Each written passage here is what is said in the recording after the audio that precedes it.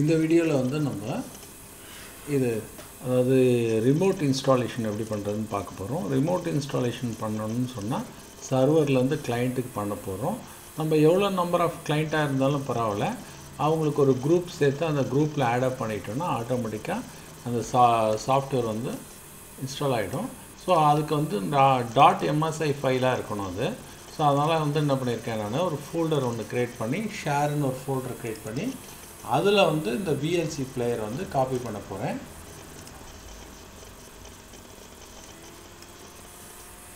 So இதில் வந்து பார்த்தீங்கன்னா டாட் எம்எஸ்ஐ டாட் எம்எஸ்ஐயோட எக்ஸ்டென்ஷன் இருக்கும் அந்த ஃபைலில் ஸோ வந்து அப்படி இருந்தால் தான் மைக்ரோசாஃப்ட் இன்ஸ்டாலராக இருந்தால் தான் ஒர்க் ஆகும்.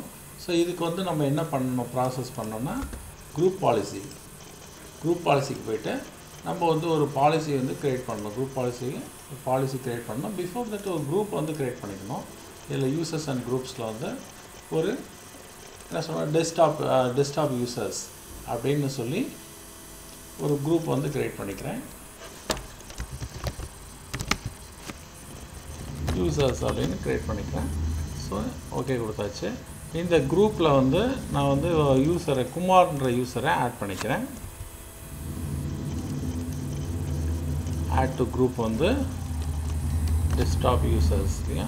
செக் நேம்ஸ் யூசர்ஸ் ஆட் ஆகிடுச்சு ஸோ இதில் வந்து நம்ம டெஸ்க்டாப் யூசர்ஸில் மெம்பர்ஸில் போனீங்கன்னா குமார் இருப்பார்.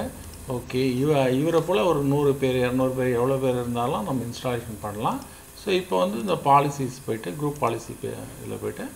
ஸோ இதில் வந்து பார்த்தீங்கன்னா டிஃபால்ட்டாக வந்து டொமைன் அதாவது எஸ்கே இன்ஃபோ டாட் இனில் வந்து இந்த டிஃபால்ட் டொமைன் வந்து இருக்கும். டிஃபால்ட் டொமைன்லேயும் சம் பாலிசி இருக்கும். அதை பேஸ் பண்ணி தான் ஆக்சஸ் ஆகுது. நம்ம வந்து கஸ்டமைஸ்டாக ஒரு பாலிசி வந்து க்ரியேட் பண்ணிக்க போகிறோம் க்ரியேட் ஜிபிஓன்னு சொல்லி. இதில் வந்து சாஃப்ட் ஜிபின்னு ஒரு பாலிசி வந்து க்ரியேட் பண்ணுறேன் ஸோ இதில் வந்து போயிட்டு நம்ம எடிட் போயிட்டு இதில் போயிட்டு எடிட் போயிட்டு இதில் கம்ப்யூட்டர்ஸ் யூசர் கான்ஃபிகரேஷன் இருக்குது கம்ப்யூட்டர் சம்மந்தப்பட்ட ரிலேட்டட் ஃபீச்சர்ஸை நம்ம பண்ண போகிறதில்ல ஸோ யூசர் பேஸ்டாக தான் இன்ஸ்டாலேஷன் பண்ண போகிறோம் இதில் ரெண்டு ஆப்ஷன் இருக்குது பாலிசிஸ் ப்ரிஃபரன்சஸ்ன்னு இருக்குது ப்ரிஃபரன்சஸ்னால் நீங்கள் தேவைன்னா எடுத்துக்கலாம் வேண்டாம்னா ஸ்கிப் பண்ணலாம். பாலிசிஸ்னால் நம்ம யூ ஷுட் உபே நம்ம அது என்ன இருக்கோ அதுக்கு வந்து நம்ம அது அதன்படி தான் வேலை செய்ய முடியும். ஸோ இதில் வந்து பார்த்திங்கன்னா list of software settings Windows settings இதெல்லாம் இருக்குது நம்ம யூஸ் பண்ண போகிறது வந்து இந்த இது சாஃப்ட்வேர் செட்டிங்ஸை சாஃப்ட்வேர் செட்டிங்ஸில் போயிட்டு software installation right click new package இதில் போயிட்டு நம்ம இந்த யூஎன்சி பார்த்து எடுத்துக்கணும். யூஎன்சி பார்த்து தான் வந்து நெட்ஒர்க்கில் யூஸ்ஃபுல்லாக இருக்கும். நம்ம சி கோலன் அது போலலாம் யூஸ் பண்ணக்கூடாது. ஸோ இதில் வந்து ஸ்லாஷ் போட்டுட்டு ஷேர் ஆல்ரெடி ஃபோர் ஃபோல்டர் வந்து ஷேர் பண்ணியிருக்கிறதுனால ஆட்டோமேட்டிக்காக அது லிஸ்ட் ஆகுது. ஸோ இதில் வந்து நம்ம விஎல்சியை ஆட் பண்ணிக்கலாம். இந்த சாஃப்ட்வேர் ஆட் பண்ணிக்கலாம்.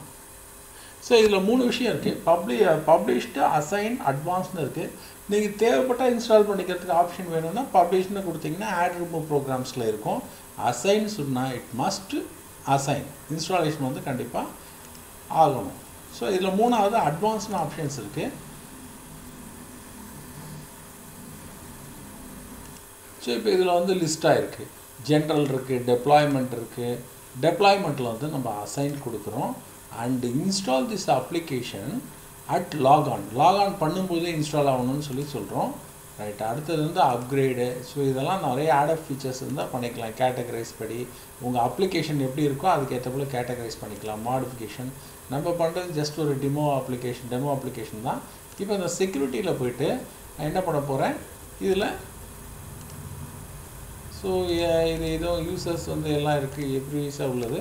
இதில் வந்து நான் என்ன பண்ண போகிறேன் இதில் டெஸ்டா டெஸ்க்டாப் யூசர்ஸா ஓகே இதில் வந்து டெஸ்க்டாப் யூசர்ஸ் அவங்கள ஆட் பண்ணிக்கிறேன்.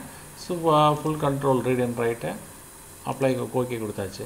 இப்போ இந்த விஎல்சி பிளேயர் ஆட்டோமேட்டிக்காக பார்த்தீங்கன்னா இதில் ஸ்லாஷ் ஸ்லாஷ் இந்த இதில் வந்து ஷேர் இதில் லிஸ்ட் ஆகிருக்கு ஸோ இதில் வந்து நமக்கு இன்ஸ்டாலேஷன் பார்த்து வந்து இங்கே இருக்குது ஓகே ஸோ ஜஸ்ட் வந்து இந்த ஜிபிஓ வந்து நான் க்ளோஸ் பண்ணிக்கிறேன்.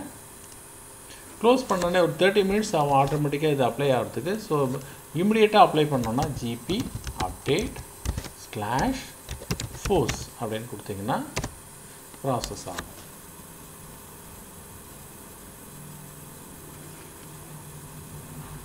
So computer policy update completed as as கம்ப்ளீட்டட்னு வருது.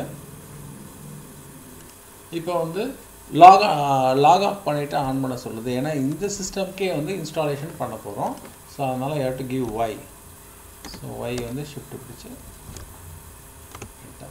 ஸோ ரீஸ்டார்ட் ஆகுது. இந்த ப்ராசஸ் வந்து ரன் ஆகிடுது இப்போது ப்ராசஸ் ஆகும்போதே நம்ம லாகின் பாஸ்வேர்டு கொடுத்து லாகின் பண்ணுறோம் ஸோ இது லாகின் பண்ணும்போதே பாருங்கள் installing manage software VLC media அப்படின்னு வருது. இது ப்ராசஸ்னால தான் இப்போ சர்வர் பார்த்தீங்கன்னா இந்த விஎல்சி பிளேயர் இன்ஸ்டால் ஆகிருக்கு இதே போல் கிளைண்ட் குமார் அவருடைய இதில் இன்ஸ்டால் ஆகுதான்றதை நம்ம பார்ப்போம். ஸோ இப்போ பார்த்தீங்கன்னா இதில் வந்து நமக்கு இன்ஸ்டாலேஷனில் விஎல்சி பிளேயர் ஆட்டோமேட்டிக்காக குமார் அக்கௌண்ட்டில் நமக்கு இன்ஸ்டால் ஆகிருக்கு ஸோ இதை பாருங்கள் ஸோ இன்ஸ்டால் ஆகிருக்கு so SK info Kumar account இருக்குது அவருடைய இதில் இன்ஸ்டால் ஆகிருக்கு இது போல் டெஸ்க்டாப் யூசர்ஸில் நூறு யூசர் இருந்தாலும் நூறு யூசர்லேயே இந்த அப்ளிகேஷன் வந்து இன்ஸ்டால் ஆகும். சரிங்களா? ஓகே தேங்க்யூ நெக்ஸ்ட் வீடியோவில் பார்க்கலாம்